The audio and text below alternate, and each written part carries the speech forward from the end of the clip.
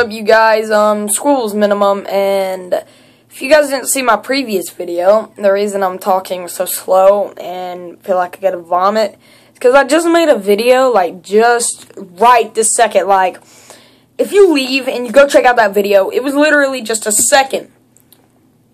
Like this one's made like right after I just went and threw the Slim Jim wrapper away like I just went and threw it away. So this video is still pretty previous and I'm getting a migraine right now.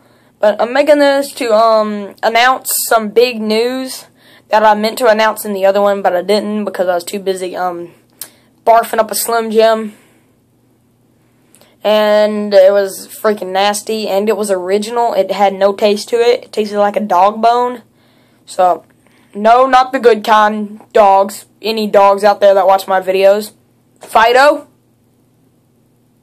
Fido, I know you're right there. Fido? No. No, Fido. Fido? Fido! Oh, get! He grabbed my, he grabbed my shoe! He grabbed my shoe! Oh, God! Oh, oh,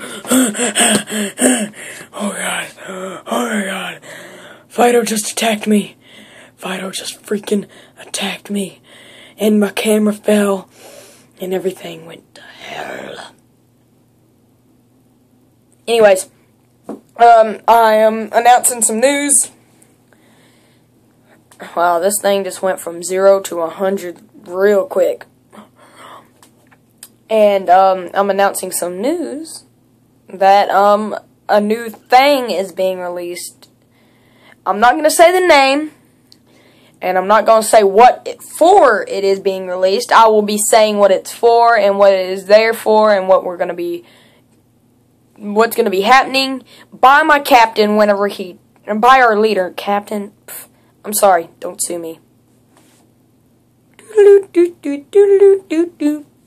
Anyways, I will be telling you guys whenever he tells me it is, and whenever he gives me the clear to say what's up. If you guys don't watch his channel, definitely go check it out. If you guys don't watch Squibbles Prom's channel, go check it out. He's having a video uploaded today.